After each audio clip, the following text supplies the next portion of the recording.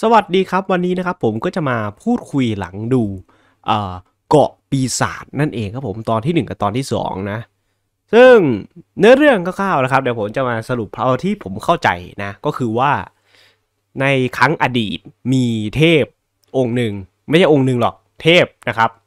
ต่อสู้กับเหล่าปีศาจปีศาจนะมีมาตั้งแต่สมัยยุคดึกดำบรรแล้ว ที่เกาะเซจู และอยู่มาวันหนึ่งเทพนะครับได้นำลูกของตัวเองอะ มาสร้างเป็นไอหินรูปปั้นโมอายทั่วเกาะ และมีทั้งสิ้น 46 คนที่เป็นหินไว้ทั่วเกาะ และหินเหล่านี้นะหินที่ทำจากลูกของเหล่าทวยเทพนี่ เพื่อที่จะกักขังปีศาจไม่ให้มันผุดขึ้นมา อะไรประมาณนี้นะครับ เท่าที่ผมเข้าใจนะ ก็คือมันจะเป็นประมาณนี้ ส่วนคราวนี้เหมือนกับว่าผนึก เวลาผ่านไปนานผลึกมันเริ่มคายใช่ไหมเสร็จปุ๊บ แล้วมันก็จะมีแบบปีศาจโผล่ขึ้นมาเรื่อยๆ ทางกลุ่มหลวงพ่อนะครับที่เป็นลัทธิก็เลยพยายามที่จะสร้างมนุษย์ที่มีความเหนือมนุษย์นะครับ โดยการเป็นลูกครึ่งปีศาจกับมนุษย์เพื่อที่จะจัดการกับเหล่าปีศาจเหล่านี้ ซึ่งก็สร้างมา 2 คนนะครับ แล้วก็จะมีเด็กเป็นผู้หญิงที่อยู่ในคำทำนายนะ ว่าเด็กคนนี้น่ะถ้าจะเป็นคนที่สร้าง ผนึกขึ้นมาใหม่ อะไรประมาณนี้ถ้าที่ผมสรุปได้นะครับ แต่ว่าอยู่มาวันหนึ่งพี่พานพระเอกของเรานะครับ เกิดแทง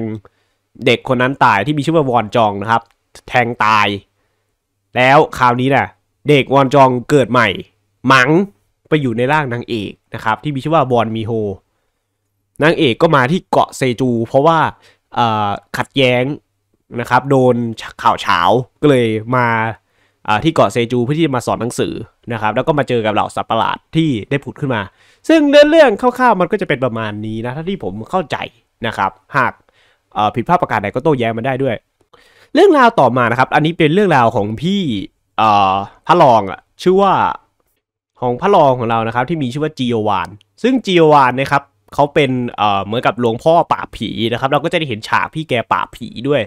ผมก็ไม่รู้ว่าผีที่มันเข้าสิงคนผู้หญิงนี่ เป็นผีปีศาจตัวเดียวกับพวกอ่าทาง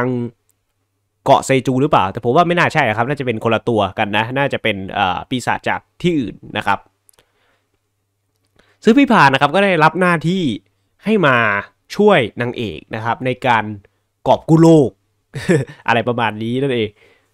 แล้วเราก็จะได้รู้ครับว่าลุงของนางเอกนะมันต้องมีส่วนรู้เห็นเกี่ยวกับเรื่องที่ เกิดขึ้นทั้งหมดด้วย ก็ยังไม่เฉลยนะครับว่านางเอกแท้จริงแล้วเอ่อเกิดมายังไงเป็นยังไง อันนี้ยังไม่เฉลยนะครับ แต่รู้ว่านางเอกนะได้รับการกลับชาติมาเกิดนะครับจากอ่าชื่อว่าอะไรนะวอนจองใช่ไหมที่เป็นผู้หญิงที่ทำการปิดผนึก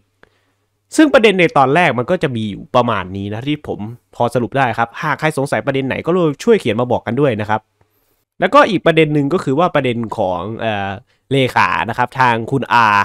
ของนางเอกใช่ไหมที่ได้เอ่อทรยศนางเอก